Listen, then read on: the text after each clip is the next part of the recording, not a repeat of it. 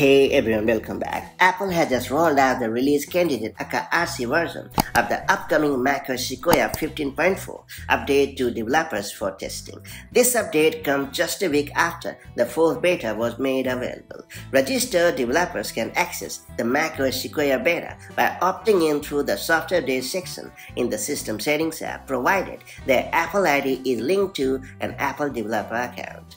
It's worth pointing out that macOS Sequoia 15.4 introduces mail categorization on the Mac, recognizing the Mail app into categories like transactions, updates, promotions, and primary helping prioritize important emails. The update also adds a variety of new emoji characters. For Apple News Plus subscribers, the update features a dedicated News Plus food section offering recipes, restaurant articles, and related content. Additionally, users will find a new Sketch tab in the Image Playground, the ability to create memory movies in the Photos app, and extended Apple Intelligence language support. Note that Apple plans to release macOS Sequoia 15.4 in early April.